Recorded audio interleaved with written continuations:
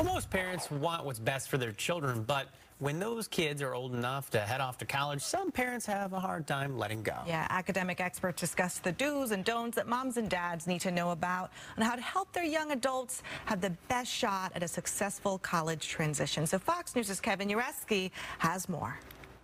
Parenting children is no easy task. Even when they grow up and head to college, many still need some guidance from their guardians.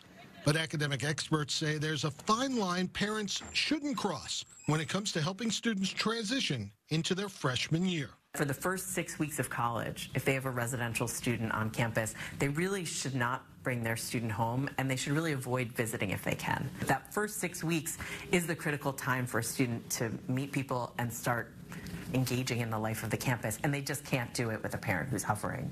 According to Dr. Sarah Klein, Vice President for Student Affairs at the Stevens Institute of Technology, college freshmen need to get used to making their own decisions.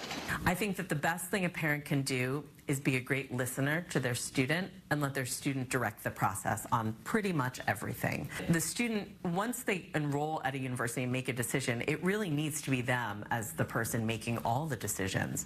But for parents who find it hard to stop worrying about if their child is making the right choices, Dr. Klein says this is the perfect time for them to make mistakes. You have a safety net of college and all the resources there, and you can make mistakes, and it's not as horrible as when you make mistakes in the real world because we're all there to help them pick up the pieces. Meanwhile, for parents whose kids might call them feeling homesick, picking them up for a weekend away from campus is not recommended.